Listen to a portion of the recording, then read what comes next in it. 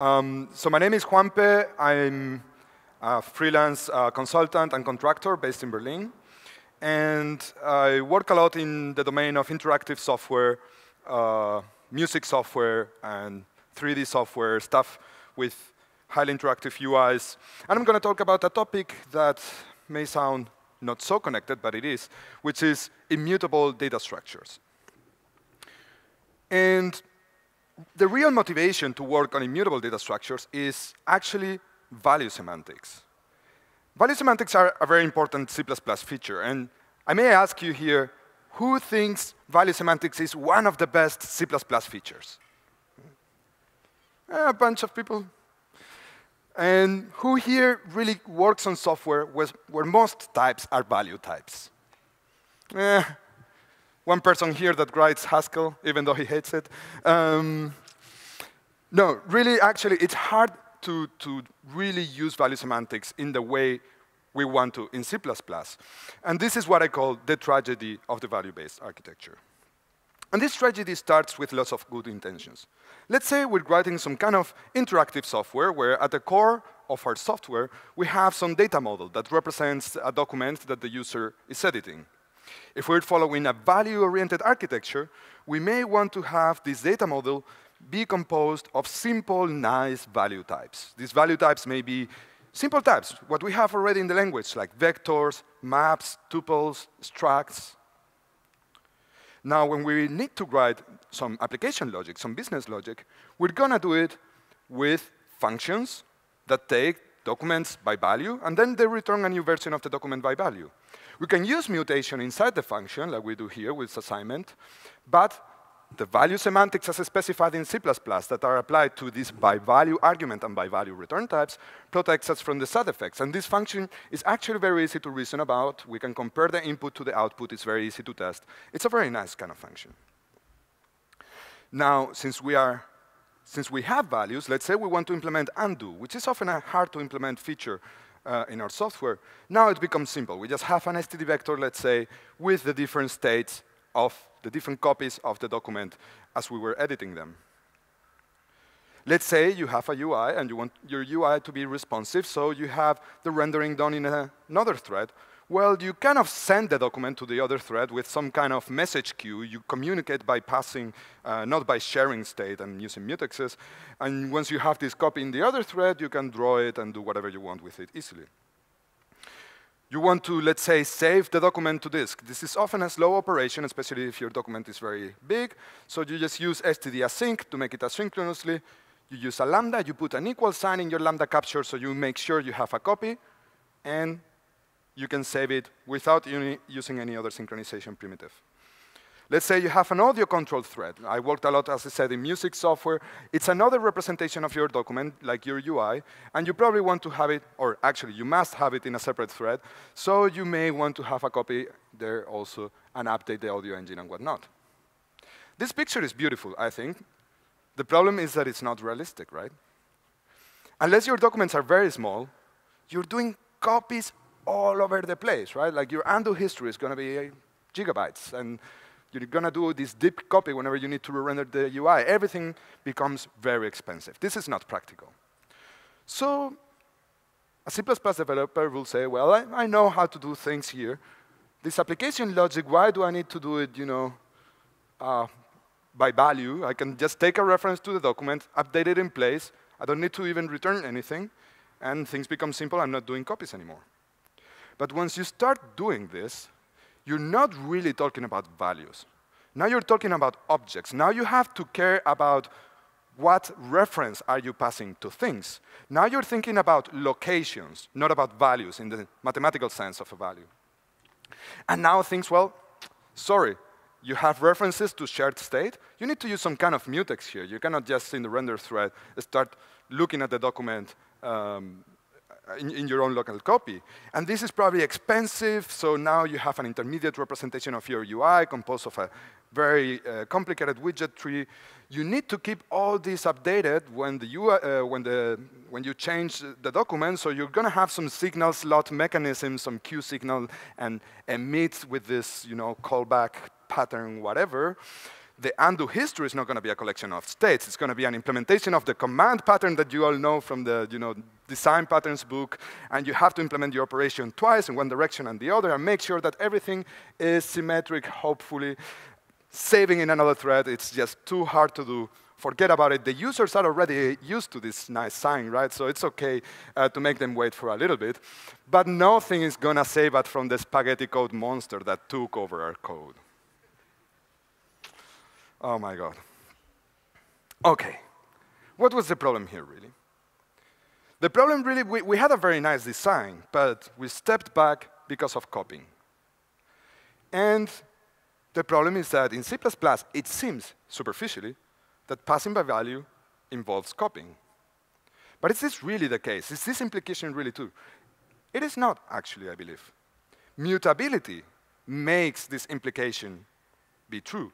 If you want to be able to mutate the object, of course, when you pass a value to someone, you need to copy it, so uh, the other mutations that you do are not visible in the original reference. But if you remove mutability, you could actually implement the assignment operator or the copy constructor in a way that just, you know, copies a pointer to the internal representation, and that's it. So what if we had a kind of magical vector. This vector is not the one from the standard library. It's actually the one that we're going to focus in this talk that has all its methods called uh, marked const. This is why it's immutable. So I can have a const vector here, and I can push back things to it. But it's not going to update the vector in place. It's just going to return a new version of the, of the vector with the new data somehow appended to it. I can do this multiple times.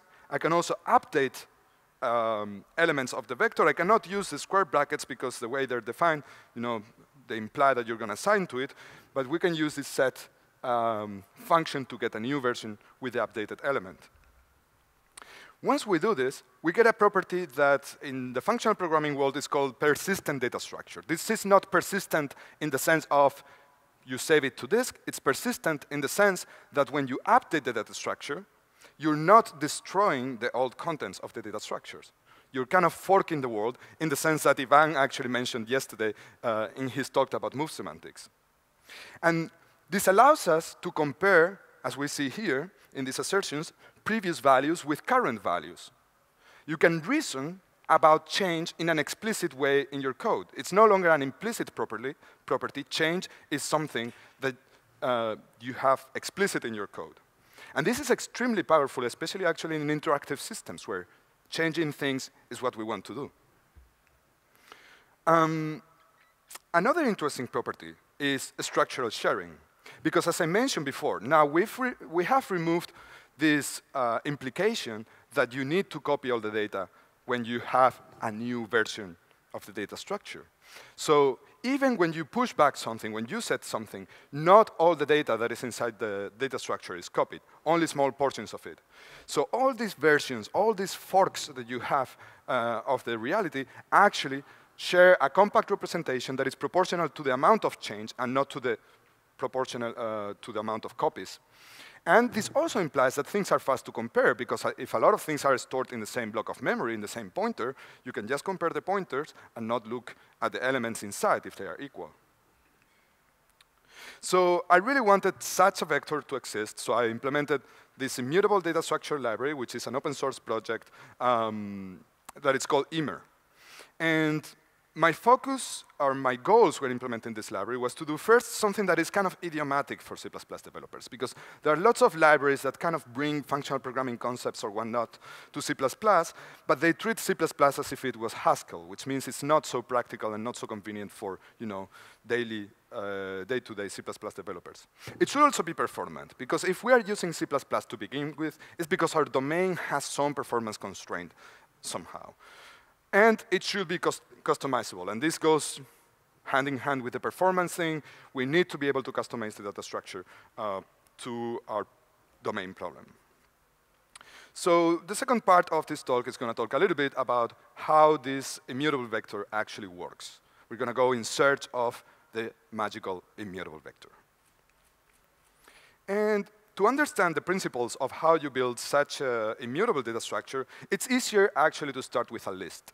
If you've done a little bit of functional programming, maybe um, you programmed in Lisp or Haskell, you've seen this is the bread and butter of immutable data structures because you can start with a node. So here we have a list that has one node, which is this character A.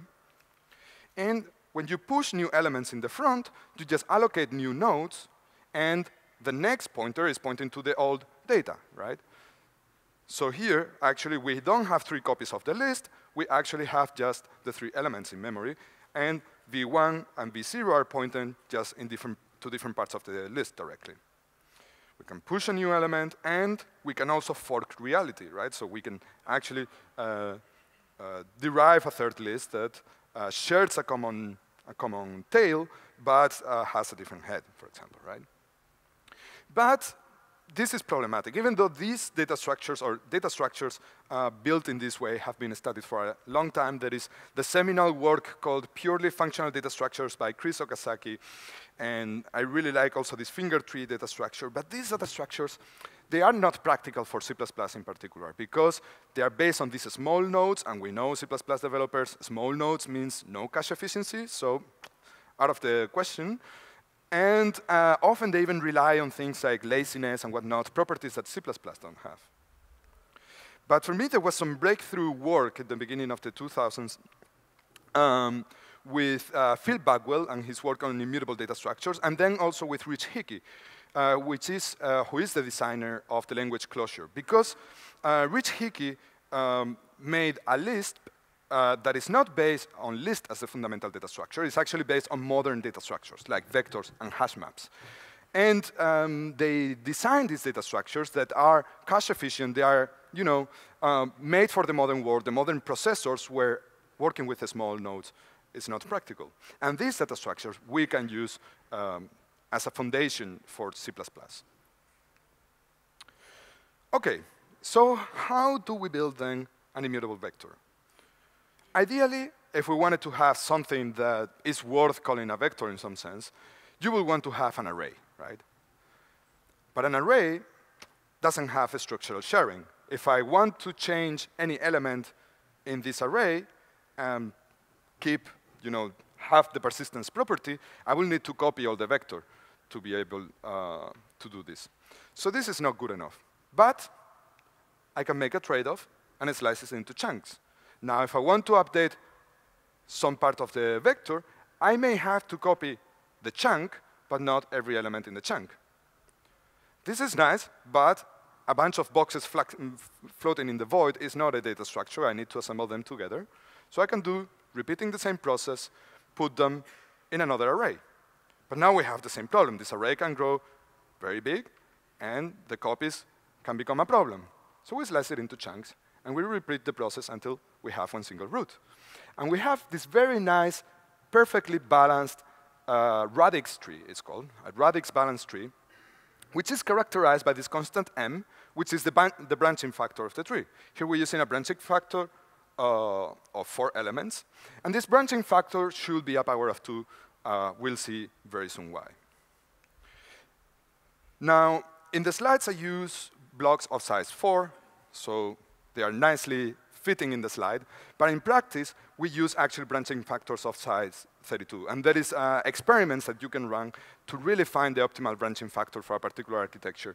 Um, and this has shown to be, to provide a very nice trade-off between structural sharing and um, access time, basically, because you want to keep the, the tree uh, as flat as possible, having big chunks.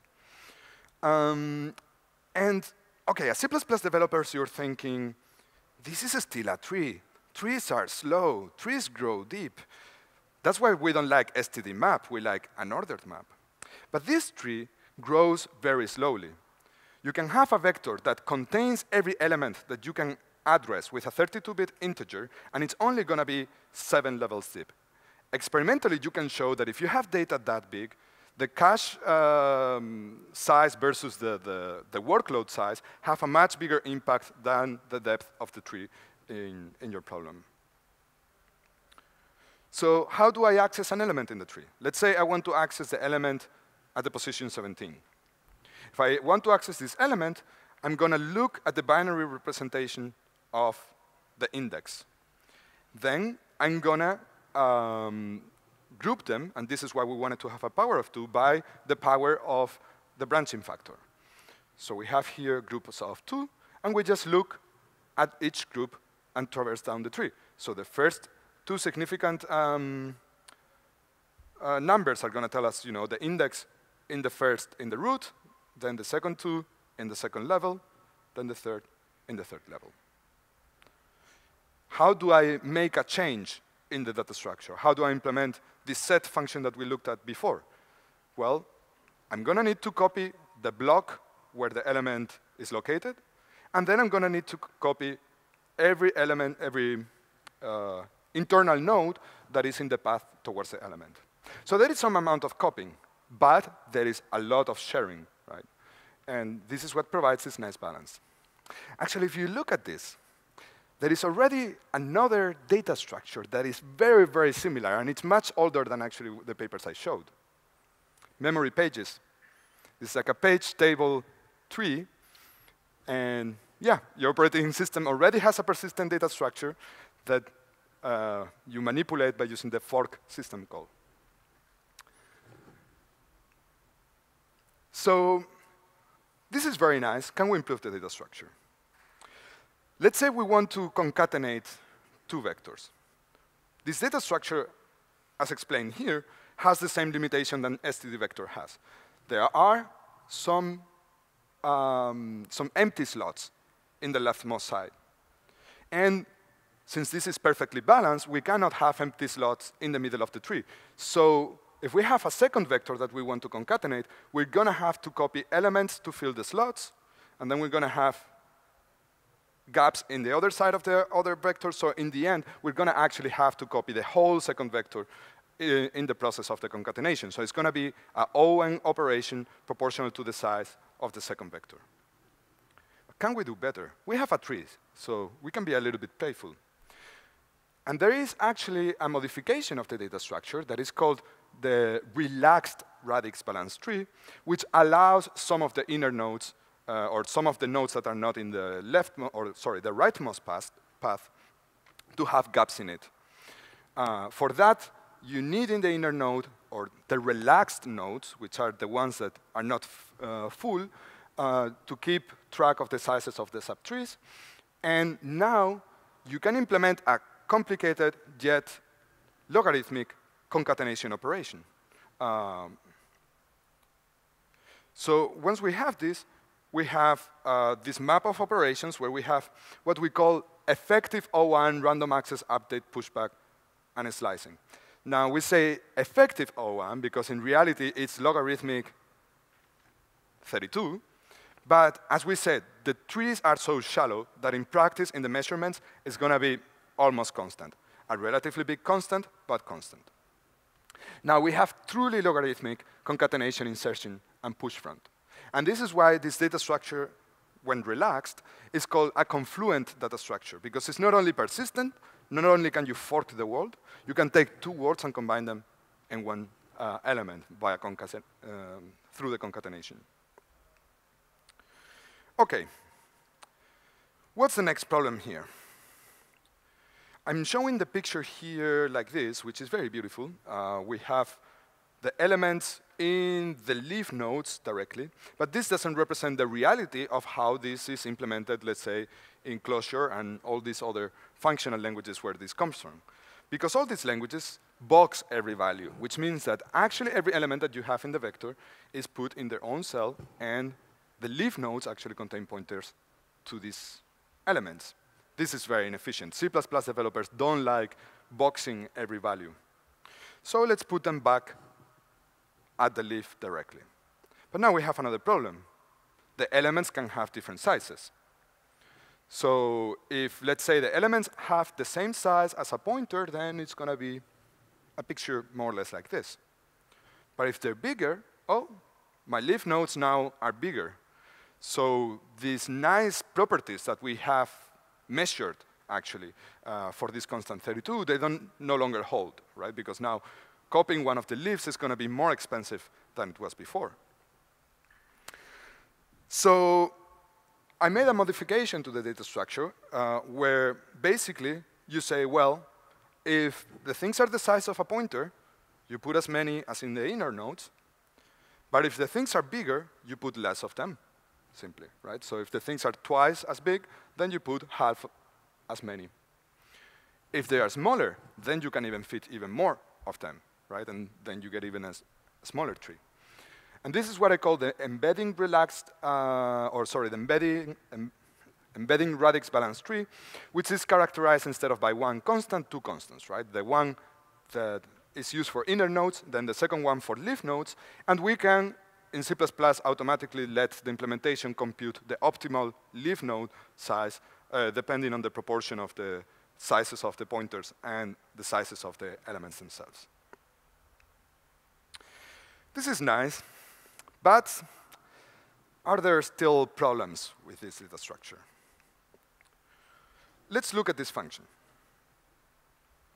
This function um, is kind of similar to the iota function, so it takes a vector and then it push at the end of the vector every integer between first and last and returns a new version. There's one problem with this function. It's not a correctness problem, but if you think about it, this function is a little bit inefficient, right? Because whenever you're doing a pushback, you're copying the rightmost block for nothing, because in the next thing, uh, step, you're going to push another element, copy it again, and deallocate the previous one. Can we do better? Well, we can say, I don't really want persistence inside this function. I want to have a transient vector that gives me actually a mutable API, so an API that has the advantage also of being compatible with the, with the standard vector API, where I'm saying, yeah, here in this function, I don't want persistence. I want every pushback to destroy, to mutate the vector. And now the implementation can be more efficient and reuse the new allocated uh, elements in the rightmost path. At the end of the function, we call persistent, and this returns, again, an immutable vector, and no side effect is visible outside of the function, right? So both the conversion to transient and the conversion to persistence uh, basically respect the persistent of the original V that you're passing in. You're not mutating that data, you're only mutating the data that is generated as part of this transaction, basically, that you're doing. Now, as I said, another advantage of this API is that now, let's say, you can use back inserter and the standard algorithms which expect you to provide mutation uh, in your APIs. But let's look at another example. I may want to write a function like this, where I pass in a vector, return another one, and I want just to chain calls to pushback, pa, pa, pa, pa, to do different things. And again, we have the same problem. Uh, we are potentially doing unnecessary copies in the pushback calls. But these values, the first one is a named value, right? Is what in C++ lingo is an L value. But the second ones, the second pushbacks, they're operating on R values. These are anonymous references. So here, since it's operating on an R value, and if you're using reference counting as the garbage collection mechanism that is under the hood, you can actually swap it by something else, and this property, uh, then you cannot do this. But if you're using reference counting, the pushback can look, what are the reference counts of uh, the nodes that um, are allocated in the tree. And if it's operating on an R value, when the reference counts are one, it knows that really no one else in the program is looking at those nodes. So it can mutate them in place and achieve exactly the same performance that you were achieving with the transient. Now we can go further and help the compiler a little bit by, by moving V, because uh, V is not used anywhere else in the function here. And once we do this, we achieve something actually that we couldn't achieve with the transient API, which is to be able to compose this optimization. So if you call say hi and pass the return to another call of say hi, or let's say another function, there are no superfluous copies anywhere here, right? If you use the transient thing, you put in these boundaries where superfluous copies might be inserted. Not here. So in the end, basically, you have a persistent data structure, you have immutability, but the performance is going to depend on the actual, at runtime, amount of sharing. So if there is no sharing, there is actually going to be, it's going to be as efficient, you could say, as a mutable uh, data structure. So this is a very powerful property. Now, of course, the, the function that we showed before with the transient, you can also rewrite it like this uh, and just move v before passing it to pushback. Now, if you want to learn more about uh, this kind of API design where you have methods that operate uh, in special ways when you're working on moved in values, I recommend you to go to Ivan's talk uh, that was yesterday, but it's probably going to be on YouTube at some point, I guess. Uh, and there's going to be a second part in St. Petersburg next year, I think. Now, another important thing, I talked about vectors, but uh, I will say the bread and butter of data structures is vectors and hash maps. You can also do hash tables using the same principles, and there is a very nice talk by Phil Nash called the Holy Grail Hash Array Mapped Trees, which is basically a hash table implemented using the same uh, principles. Now, I'm pretty sure everybody's thinking, mm, yeah, I mean, sounds cool, but is this really fast? Well, I have lots of benchmarks, and I have an answer. yes. Um, if you really want to look at the benchmarks, um, I actually published uh, this work in a paper for the International Conference of Functional Programming in 2017. Um, and there, you know, there is all the benchmarks plus the scientific discussion of, you know, this is really good. Um, but I think here we're not so much interested in the absolute values.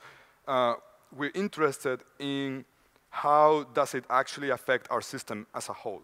Because of course, I mean, updating the vector is going to be slower, right? You need to copy a few chunks of data, allocate data. That's going to be slower. Iterating over the vector is actually almost as fast as iterating over um, standard vectors. So that's a, a very important uh, property that I wanted to achieve because we, of course, read data much more often than we mutate data.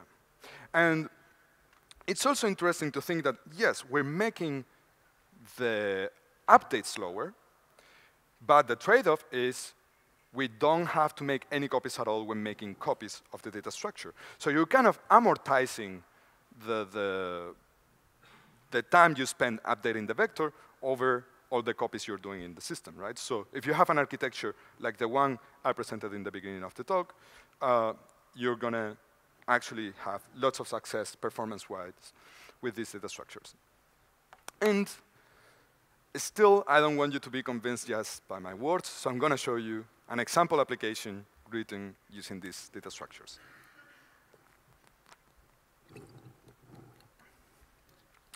So, um, yeah, to try to, to see what using these data structures mean in practice, I wrote a me see. Perfect. I wrote a little text editor, right? So it's a little piece of interactive software where you, uh, you know, you're editing a document, and this document is going to be, of course, represented by immutable vectors. And this text editor is called Ewig, and I have here a file, wait, let me show you something. I have here a file called Esperanto Wiki, which has the contents of the whole Wikipedia in Esperanto. I'm using the Esperanto one because the English one is really, truly big. But this is a one gigabyte file. Um, I'm not sure what your favorite text editor is, but I'm pretty sure your text editor doesn't like this file. Here, I immediately get something. I see that it's loading asynchronously. I can already navigate the file, and everything keeps responsive, right?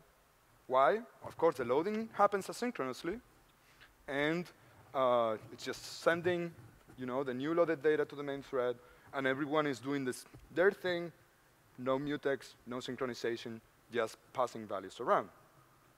Now, I can go to the end of the file. This file is here. You can see 20 million lines of code. Um, before we jump to the coolest things, um, there is one property that I really like about this text editor. Um, there is a little detail, but I think it really shows the power of these data structures. You see two dashes in the, in the white line at, the, at the bottom, at the beginning of the line. If you're using Emacs, this is a familiar UI. This is actually inspired by Emacs. Um, this indicates whether the document is dirty. So I didn't make any change. If I make some changes, I start seeing some asterisks in there. Now, if I delete the new added characters, not by undoing, but by using the backspace, at some point, it recognizes that the document is not dirty anymore because it's the same as it was in the beginning. No text editor does this, right? Because all text editors, they just, you know, you do an editing command and they say, oh, now it's dirty and it's going to be dirty until you save. But here, we keep every previous version of the document. So to show the, the dirty marker, we have no dirty flag. We just say, well, is my document different than the document I loaded from disk, right? Um, I can do something else. I can use Control X H. This is Emacs for select all. I can do Alt W, copy everything. Wow, that was fast. I can go here in the middle. I can paste it a few times. How big is this file now? Wow, I can do it more times. Um, it's immediate. Why? Well, we have logarithmic concatenation, so I can just take the bunch of tests that I copied, in this case, well, it was a whole document, and I will just need to do a couple of concatenations that the logarithm of uh, a few millions is actually not that big in the end. So this is pretty cool. I can also save the document, and it's going to take a while because you know now it's actually probably more than a few gigabytes big. Actually, maybe I shouldn't be doing this. I'm not sure I have enough disk. Um, and now it's going to wait. Uh, anyways. Uh, um, actually, I'm going to check how much disk I have.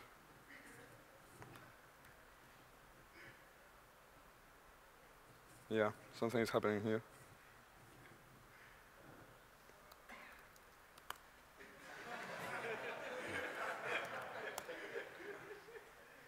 oh, I had enough. Okay. Um,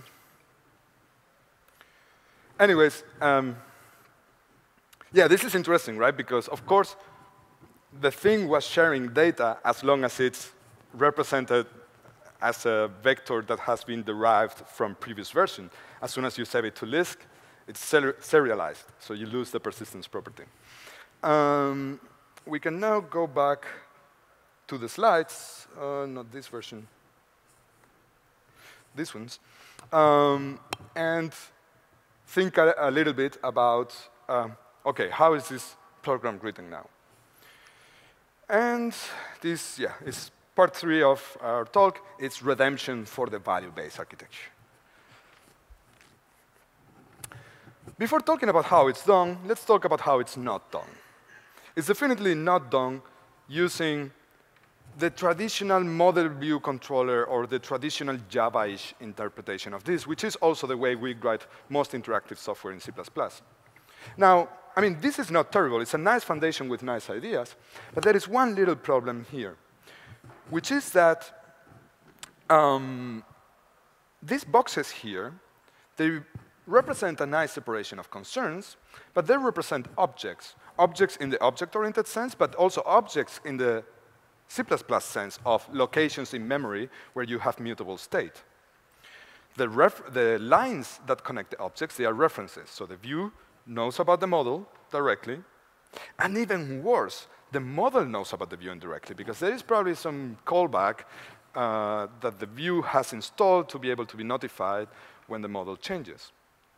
So even with our best intentions and our best application of the solid um, object-oriented principles, these graphs of intercycled objects, they don't compose.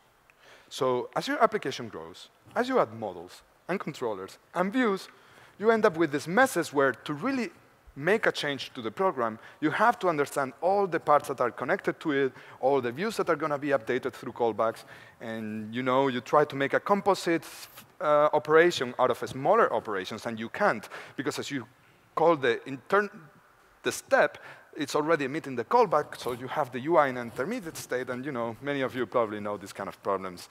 We've all been attacked by the spaghetti code monster. Can we have a different architecture?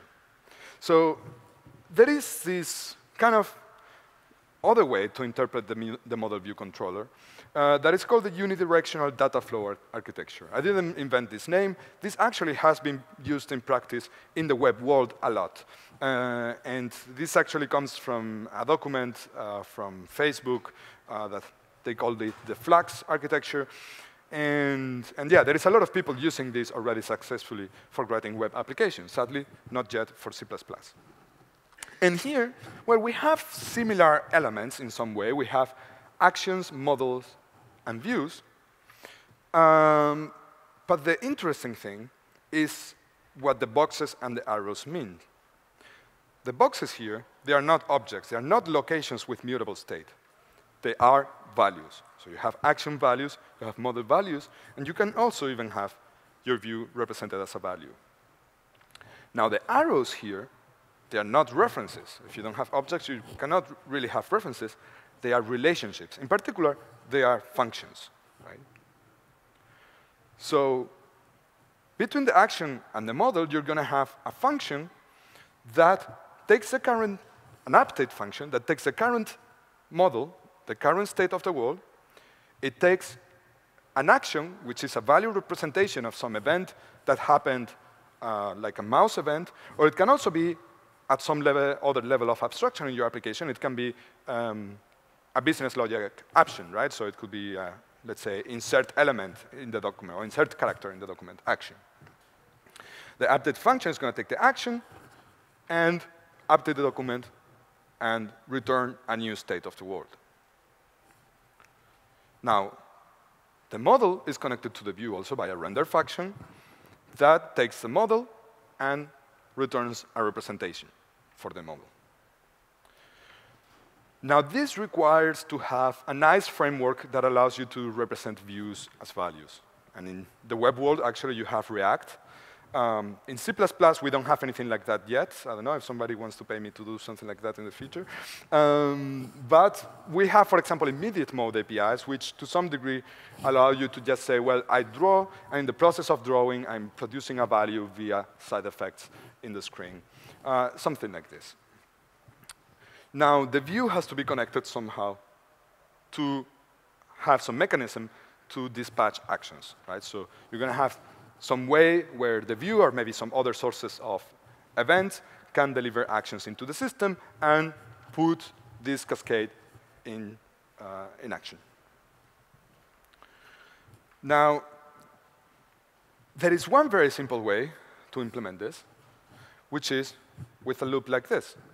So before I added asynchronous loading and saving, this was actual code from uh, the text editor uh, that we saw because of course we need an asynchronous event loop if you want to have asynchronous loading and setting. But here we just have a terminal object, which is an object that represents, you know, it's a thing wrapper around ncurses so you can write and read from the terminal. And then we have the application. The application is basically our model value. So it's a model of the whole state of the application here, which, as we see in the declaration above, we have a function that um, we can use to get a new version. Then we loop and we say, well, until the application doesn't want to close, uh, we just draw the new state. We query, in this case, since we're only interacting from the terminal, we query what's the next event. Uh, and the event, let's assume here it's convertible automatically to an action, so we can just call update and store the state in this local variable we have. Uh, and loop again. Now, what's really cool here is that in our program, there is only one mutable variable that survives the scope of the runtime of the application itself, which is this state uh, object, right? This state thing is really our mutable variable. This is what the Clojure people call sometimes the single atom archi architecture for this reason. You try to have one central point where you do all, all your mutations through. And your application logic is not concerned with uh, updating it. You have a loop like this somewhere in your application, but then your application logic is going to be in pure functions like the update function we have here. Now, when you start designing software in this way, then you also change your conception about software. You don't start with a UML diagram where you start with interfaces and operations. Probably you want to start with the data, actually. What data do I have in my application? In this way, it's actually a little bit similar with this new trend of data-oriented design, even though the data-oriented design people come maybe from a performance uh, uh, point of view, they try to make things as fast as possible. Here, we're also trying just to make things a little bit simpler, a little bit more correct, and also, why not, a little bit fast. Um, but it's a little, a, a, different focus with, in the end, a lot of par parallelisms in the design methodology. So in the application, these are the core data types. So you have you know, an index, you have some coordinate in the document, which is a row and a column. And then we have the meat, actually, of the application, which is the align of text, which is a flex vector of characters. So a flex vector is the vector that is concatenable. There is also the vector type, which you cannot concatenate. Um, we have the text objects, which then is just a vector of lines. It's a very uh, simple way of representing text. Now we have things like a file. A file um, has uh, a name or a file name, a, an address in the file system that it was loaded from, and it had a content. Here we see another uh, type of the library, which is the box. The box is a very simple type, but very handy sometimes, which is the one-element container. So it's basically a way of putting something that could be expensive to copy in the heap and um, avoid the copies when you move it around um, we have a snapshot. A snapshot is what we're going to put in the undo history. It contains the document, right? A piece of text, which is the whole content of the document. And it contains the cursor position, because when you undo, you also want to restore the cursor to where it was um, when the user edited. We have a buffer. This term comes from Emacs and Vim that call kind of the open documents buffers. Um, and we have the file where we loaded it from, right? So we have the file path and the content. This is how we're going to be able to compare if the document is dirty. We have uh, the content, we have a cursor, a scroll position, uh, selection start uh, if you're selecting, so it's optional. A vector of snapshots, that's the history, right? There's no command pattern. We're just going to keep the previous states. And uh, if we are in the process of undoing, you're going to have an index inside the history. Then the application is going to be a document that is open, maybe a key map, a current input, so if you're doing a key map combination, there is going to be a clipboard, which is a vector of pieces of text that you've copied, and maybe some messages that are displayed at the bottom of the screen. In this very first iteration of the that is single-threaded of the application. We just have one type of action, which is basically uh, there is a key code and, um, and a, a, a potentially a resize. Yeah. Um, so just looking at this data, I think like a lot of you may already, you know, think about how to implement different operations, right? Like most of them, if you do like this take by value and return by value, a lot of the operations are going to be uh, very simple. The code of the text editor is actually on GitHub, so you can look at it um, and see how it actually looks. I'm going to show you just one example of a feature because I think it's particularly um, nice, which is undo, right? And undo uh, as I saw in the faces of a few of you when I was talking about it in the beginning, it's a complicated to get right feature um, if you don't have the right infrastructure. Um, in the editor, I implement Emacs style undo, so I'm going to explain a little bit how it works. Uh, Emacs style undo is uh, different in that there is no redo command. So uh, basically, you never lose work because uh, undo is an undoable operation. So you only have undo. If you want to redo, you edit something, and as soon as you edit something, all your undos become part of your undo history, and then you can undo them as well. So you can. So let's see an example of how this works. Basically, I'm doing some edits, so I have a state one, a state two, I do another edit a state three. The, the red marble here is just the history position, right? So as, as long as you're, you're uh, as long as you you're not undoing, your history position is implicitly at the end, you could say. And at some point, ah, I did a mistake, I want to undo something, then the marble moves to the back, but a new state is pushed, which is basically the new state that the user is seeing, which is S3. Okay? When I undo again, I take the previous state, move the cursor back, the user is now seeing S2, but S2 is also now in the undo history. Now the user is done undoing and, and performs another edit. Now the cursor position moves to the end, and the new edit is a new state S5 that the user is seeing. If the user now wanted to undo, he or she will go first through uh, the, the undid operations, right? Um, this is all the code you need to implement undo in this way. Uh, there is two operations. There is record, and there is undo. Record is, uh, oops, sorry. Record is basically what we're gonna call whenever we do an operation. And this is nice. We don't even need to know if our operation is really editing the document. So this, uh, this function is transparent to, to your application logic. Uh, because you just call this function after any action happen. And the first thing this does is, well, did the document change? Did the text actually change, right? Because actually this is a dynamic con condition. You sometimes, let's say, you try to delete the first character, and it doesn't delete anything because it was the first character, so you should not push something in the undo stack. Um, so if the content change, then we push back the content and the cursor position in the history, and if um, the history position didn't change as part of the action, meaning the two buffers don't come from an undo action, uh, then the history position is now null, meaning it's implicitly at the end.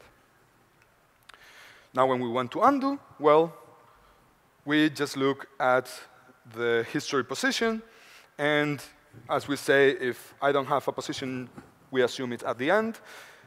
Um, and if there is actually something in the undo history, meaning uh, it's not at the very beginning, then we actually do an undo, and we just, you know, uh, look at what's at the end of the history. We uh, put the content as a current content, put the cursor as a current cursor, and uh, change the, the history index, right?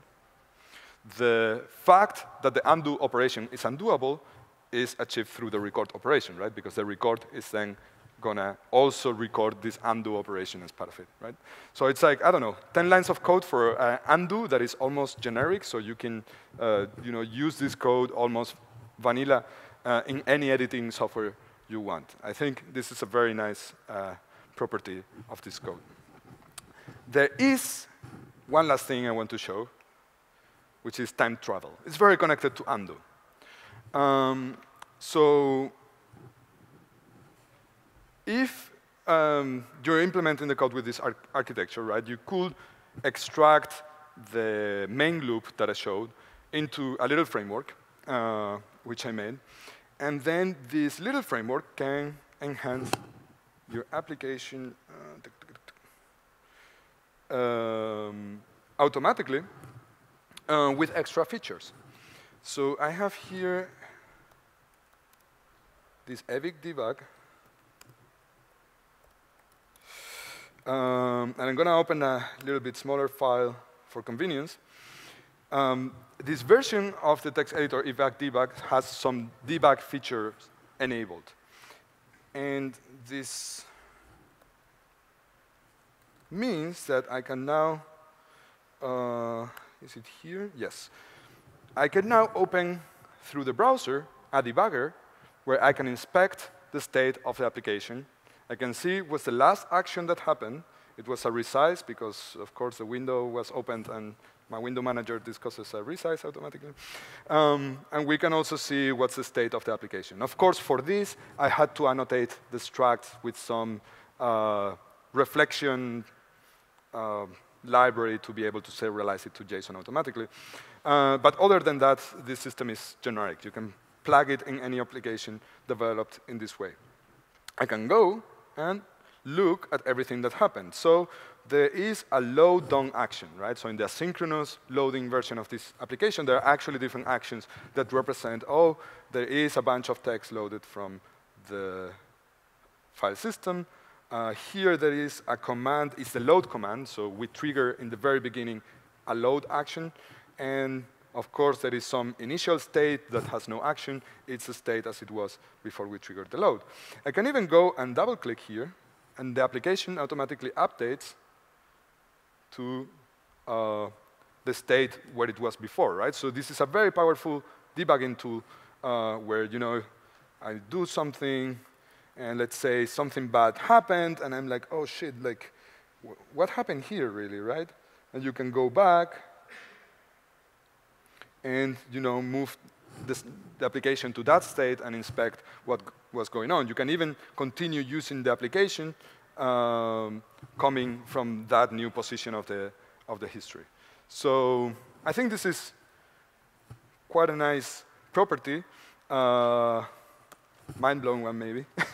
uh, and there is, if you're interested in that, another talk that I did at CPPCon, actually not 19, uh, 18, um, where I go into detail on how this uh, debugger is built, actually. So I show a little bit more of that. I also show more of the value-oriented uh, design in general.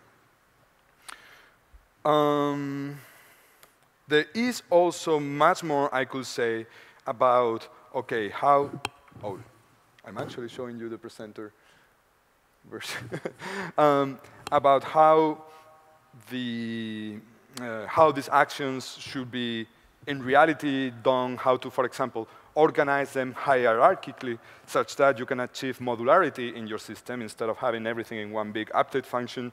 I also talk about asynchronicity, so how loading the file concurrently is actually implemented.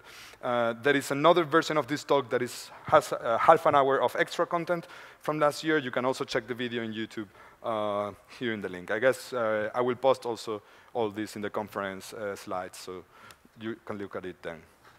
I think we looked at a lot of stuff now. We can finally reach some conclusion. And I would like to conclude with this tweet from Andy Wingo. He's actually uh, a very good developer. He uh, has worked a lot on V8 and compilers in general. He also maintains uh, the GNU scheme implementation called Guile.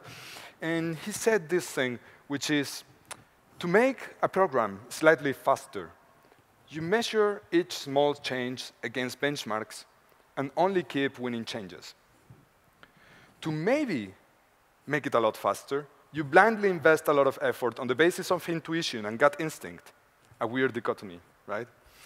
And I think with C++ developers, we are experts on the first one, right?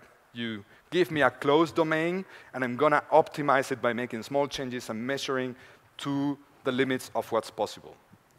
But we less often try the second path, which is a risky path. Sometimes you end up somewhere completely useless.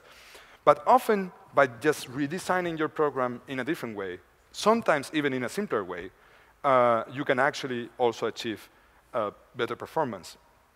Uh, so I will hope you are convinced to maybe try this approach, to maybe try and say, hmm, maybe doing things by value is not such a bad idea. I should not be so obsessed about the individual mutations I'm doing in my applications. Uh, well, thank you very much for listening. Everything that I presented here.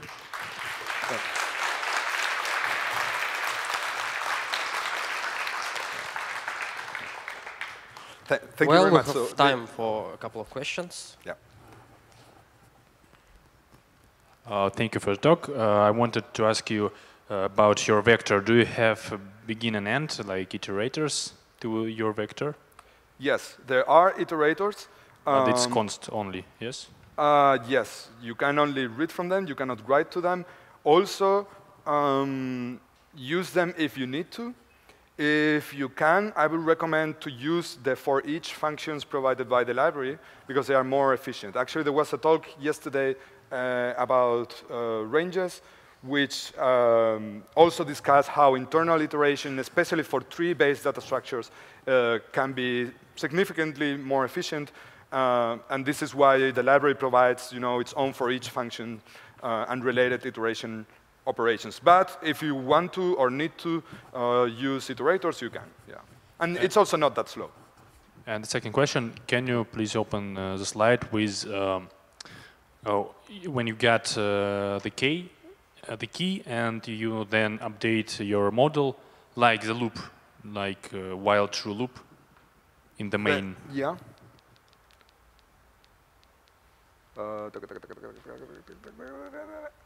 Yeah. Uh, I think uh, I see that you act uh, is uh, like next. Yeah. And then you redrawing your state every time, but uh, act is a is an array of actions or only one action per, per tick. I mean, it doesn't matter too much. In this case, it's just one. So, yeah, it could be that you're seeing intermediate state if you had more actions. But this is something where, I mean, you can play a little bit with and change when uh, this should redraw and not redraw for every action, redraw after you got a bunch of them. Okay, thank you.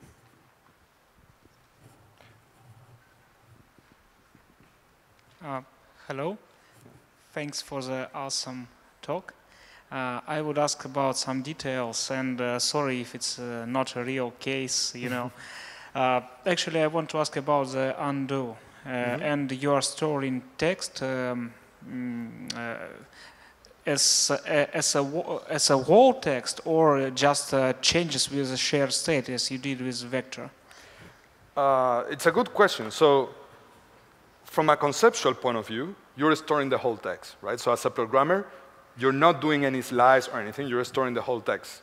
Uh, but in reality, because of the way the vector operations are implemented, it's actually sharing the internal representation between the different states. So uh, only the, the buffers that needed to be copied uh, from this tree structure that we showed in the beginning are actually different between the, the states. So you could say that uh, uh you're actually storing amount of data proportional to the amount of change. Uh, okay, so the, the main question, I think, what if uh, the amount of change is equal to the size of the content? For example, I'm uh, deleting and uh, pasting, pasting it uh, and repeating while my undo uh, queue will grow up infinitely.